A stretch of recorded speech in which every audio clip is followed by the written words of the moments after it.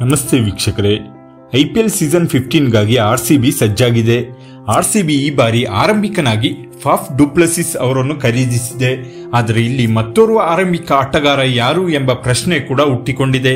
ಏಕೆಂದರೆ ತಂಡದಲ್ಲಿ ಅತ್ಯುತ್ತಮ ಎನಿಸಿಕೊಳ್ಳುವಂತ ಯಾವುದೇ ಭಾರತೀಯ ಆರಂಭಿಕ ಆಟಗಾರ ಆರ್ ಸಿ ಬಿ ತಂಡದಲ್ಲಿಲ್ಲ.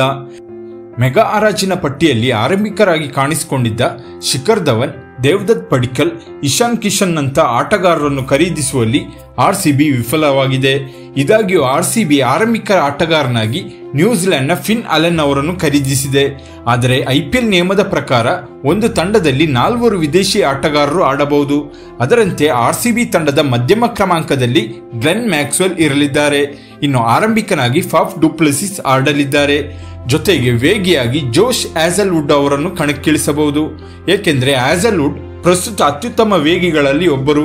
ಹೀಗಾಗಿ ಪ್ಲೇಯಿಂಗ್ ಎಲೆವೆನ್ನಲ್ಲಿ ಸ್ಥಾನ ಸಿಗಲಿದೆ.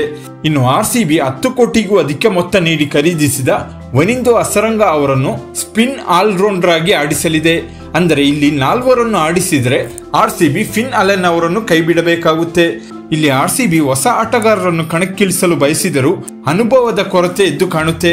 ಏಕೆಂದರೆ ತಂಡದಲ್ಲಿ ಅನುಜ್ ರಾವತ್, ಲವನೀತ್ ಸಿಸೋಡಿಯಾ ಅಂತ ಆಟಗಾರರಿದ್ದರು. ಅವರು ಅಂತಾರಾಷ್ಟ್ರೀಯ ಮಟ್ಟದ ಬೌಲರ್ಗಳನ್ನು ಎದುರಿಸಿದ ಅನುಭವ ಹೊಂದಿಲ್ಲ.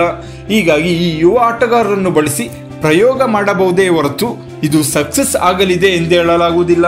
ಒಂದು ವೇಳೆ R C B Finn Allen ಹಾಗೂ ಫಾಫ್ ಡುಪ್ಲಸಿಸ್ ಅವರನ್ನು ಆಡಿಸಿದರೆ ವನಿಂದೋ ಅಸರಂಗ ಅಥವಾ ಜೋಶ್ ಆಸಲ್ವುಡ್ ಇಬ್ಬರಲ್ಲಿ ಒಬ್ಬರನ್ನು ಕೈಬಿಡಬೇಕಾಗುತ್ತೆ.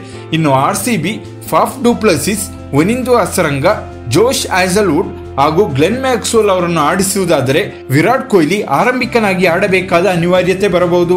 ಒಟ್ಟಿನಲ್ಲಿ ಆರ್ ಸಿ ಬಿ ಹೊಸ ತಂಡವೊಂದನ್ನು ಕಟ್ಟಿದೆ.